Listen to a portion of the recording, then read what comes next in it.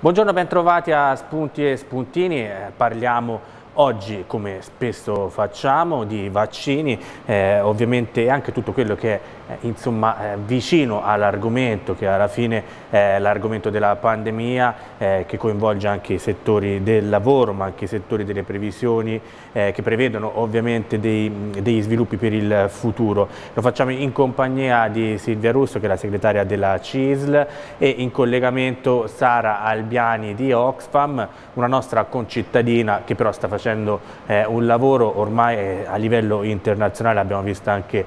protagonista possibilità di, eh, di reportage eh, internazionali eh, nelle, reti, nelle, reti, pubbliche, quindi questo a dimostrazione eh, che anche da Arezzo arrivano dei fortissimi contributi alla ricerca, soprattutto per quanto riguarda il caso di Sara eh, sulla distribuzione dei vaccini anche nei paesi più poveri, che ormai è il tema, anche uno dei temi principali, anche dopo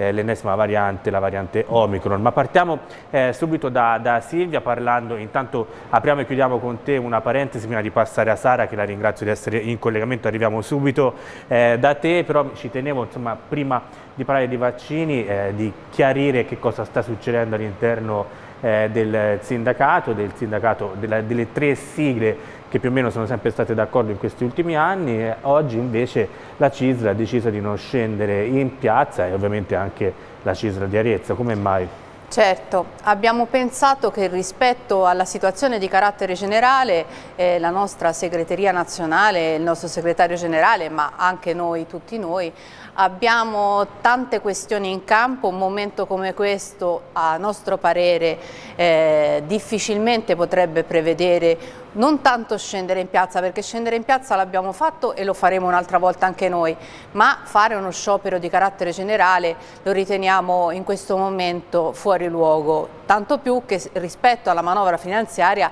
abbiamo ottenuto moltissimo rispetto a quelle che erano le condizioni iniziali. Ovviamente non tutto, ci sono ancora tante questioni che dovremo esaminare, ma otten abbiamo ottenuto anche dei tavoli che poi si apriranno subito a inizio anno, penso al tavolo sulle pensioni, quindi ad una riforma complessiva delle pensioni che si aprirà a gennaio, penso al tavolo sulla riforma fiscale che comunque si aprirà non appena eh, sarà passato questo momento eh, della, della finanziaria, quindi sono tavoli importanti che prevedono anche una tensione sì, sociale di un certo livello, ma sicuramente per quanto ci riguarda non uno sciopero di carattere generale.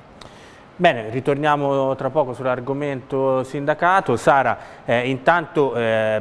lasciami esprimere insomma, eh, la, la, soddisfazione eh, per quello che è successo in questi ultimi giorni, ovvero la liberazione di Patrick Zaki, rimangono eh, ancora su di lui le accuse, eh, ci sarà ovviamente un, un, dibattimento, però Patrick è tornato a casa e questo credo che sia eh, un sentimento di gioia per tutti noi eh, italiani che abbiamo sostenuto questa, questa causa sempre attraverso l'Università di Bologna, attraverso le organizzazioni non governative come Oxfam.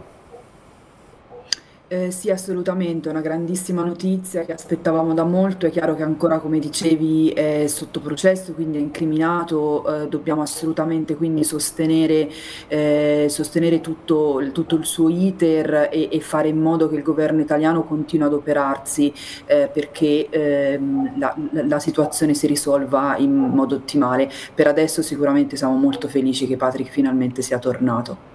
Senti Sara, ti stai occupando ormai da, da, tempo, già lo scorso anno a Spunti e Spuntini abbiamo parlato eh, molte volte di quello che sta succedendo a livello globale sulla distribuzione eh, dei vaccini, quando ne parlavamo ancora eh, il vaccino Covid era appena eh, entrato eh, nei paesi eh, occidentali, definiamoli così, e in Africa ad esempio no, come in altre parti dell'Asia, insomma in altri paesi che ehm, non hanno spesso vaccini neanche di altro altro genere, ma ora anche quello eh, Covid scarseggia. Cosa sta succedendo e cosa è cambiato?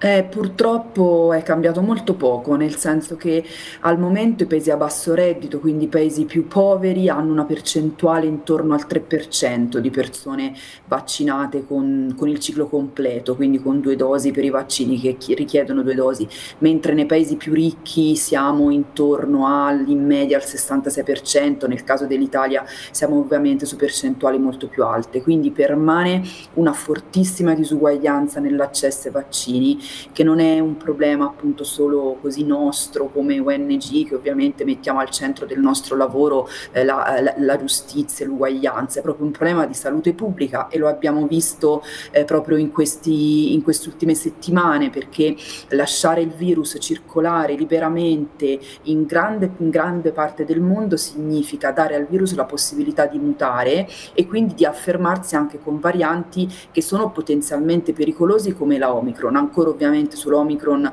non abbiamo dei dati certi, quindi non sappiamo se buche, buca i vaccini, come si dice tecnicamente, quindi se rischia di rendere inefficaci i vaccini, però sicuramente ci pone un dato di attenzione, cioè che se non riusciamo a contenere la circolazione del virus in tutto il mondo, rischiamo di ritrovarcelo in casa con varianti che possono vanificare tutti gli sforzi che abbiamo fatto anche nei nostri eh, paesi a livello di campagna vaccinale, ma anche a livello di sacrifici economici, sociali che abbiamo dovuto affrontare quasi negli ultimi due anni a fronte della pandemia. Eh, Sara, eh, ovviamente eh, questo dipende da tanti fattori, anche dalla, da quello che è sulla, sulla, liberalizzazione dei brevetti, ma anche questo basterebbe fino a un certo punto, perché comunque creare l'industria eh, per, per, coprire eh, la produzione di vaccini non è così semplice.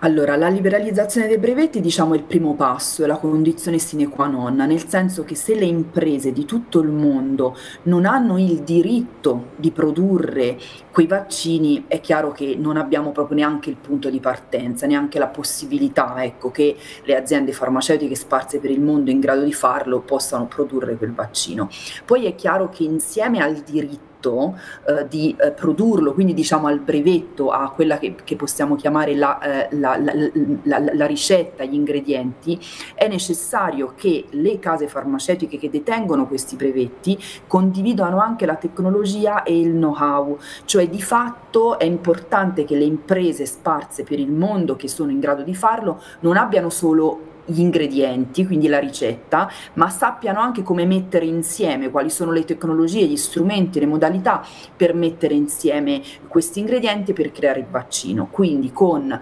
liberalizzazione dei brevetti, condivisione di tecnologie e know-how, molte industrie sparse per il mondo, anche nei paesi a medio e basso reddito, potrebbero essere in grado di produrre quei vaccini. Non dimentichiamoci che il grosso dell'industria farmaceutica, per esempio dei farmaci generici, non è nei nostri paesi occidentali occidentali, è in India, è in Sudafrica, ci sono delle grossissime aziende farmaceutiche in Indonesia, ehm, in Vietnam, anche in, alcuni paesi, anche in alcuni paesi africani che producono dei farmaci e anche dei vaccini. Quindi tutto sta a dargli la possibilità di farlo, il diritto di farlo, i brevetti e la tecnologia per poter avviare appunto una produzione e quindi incrementare il numero di dosi a disposizione che sono pochissime. Noi consideriamo che al momento ci sono dosi eh, disponibili in Africa subsahariana, vaccinare ehm, una persona su otto, quindi veramente de, de, dei numeri eh, bassissimi. Quindi il problema è innanzitutto un problema di disponibilità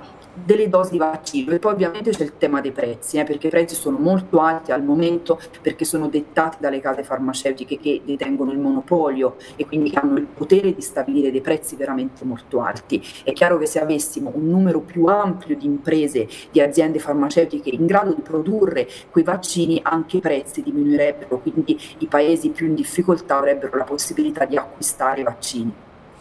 Silvia, noi ci permettiamo in Italia di fare eh, scorte e, e, ovviamente anche di non farlo il vaccino, insomma l'argomento è, è, ovviamente è un argomento tosto perché eh, ormai eh, sembra che ci sia una, una, parte della popolazione che proprio non, non, si vuole vaccinare, tu sei venuta qui direttamente dal, dal lab che per, per la terza dose che cosa si pensa all'interno del sindacato e cosa pensi tu anche personalmente? Allora, all'interno del sindacato noi siamo stati subito e questo tutti insieme d'accordo con il fatto che eh, il vaccino fosse l'unico mezzo per poter aiutare eh, a superare il periodo di pandemia. E Ovviamente noi la pensiamo esattamente come ha detto prima eh, Sara Albiani, cioè non è una questione che riguarda soltanto il nostro paese, è una questione che riguarda tutto il mondo perché qui i muri non possono fare niente, non costruiamo muri in questo senso, la pandemia non li conosce e dobbiamo essere così talmente previdenti da fare in modo che il vaccino sia un bene per tutti, un bene anche per quelle persone popolazioni che purtroppo non possono permetterselo. Se non facciamo questo scatto ulteriore anche raggiungere cifre importanti nel nostro territorio eh, serve sì sul momento ma non servirà per il prossimo futuro. Quindi occorre davvero che i governi in questo senso abbiano un respiro diverso, un respiro internazionale per poter permettere a tutti di poterci vaccinare. Anche perché proprio anche facendo un ragionamento semplicemente di tipo economico, eh, essendo l'economia l'economia mondiale ormai fluida e interconnessa, non possiamo pensare ai sovranismi nazionali, non è proprio il momento e non serve a nulla perché non possiamo proteggere la nostra nazione soltanto pensando all'interno del nostro territorio e della nostra popolazione. Quindi anche per il mondo del lavoro è importante il vaccino ed è importante che il vaccino sia fatto in tutto il mondo, anche quando sentiamo il Papa che fa le sue eh, giuste osservazioni osservazioni non sono osservazioni soltanto di carattere morale o teologico o eh, legate ad un certo tipo di religione, sono ragionamenti di livello alto internazionale che pensano che la popolazione mondiale si salva tutta insieme e quindi dobbiamo fare uno sforzo in questo senso proprio come diceva eh, Sara Albiani. Bene, noi andiamo in pausa, ci rivediamo tra pochissimo con Sara Albiani e Silvia Russo, a tra poco.